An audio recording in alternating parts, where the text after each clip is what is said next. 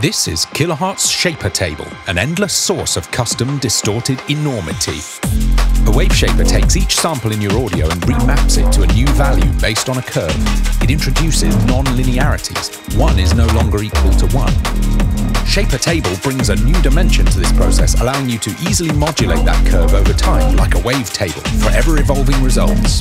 It's exceptional for embiggening a bass, like this or with a bit of modulation and advanced controls. Whoa, now that's a sound! But it gets even more powerful inside multipass, for example, where you can run different moving distortion profiles on up to five separate frequency bands. Talk about texture. And of course, it's the perfect sound design sidekick inside Phase Plant, where a simple source can turn epic in an instant. Kilohearts Shaper Table. Multi-dimensional distortion mayhem.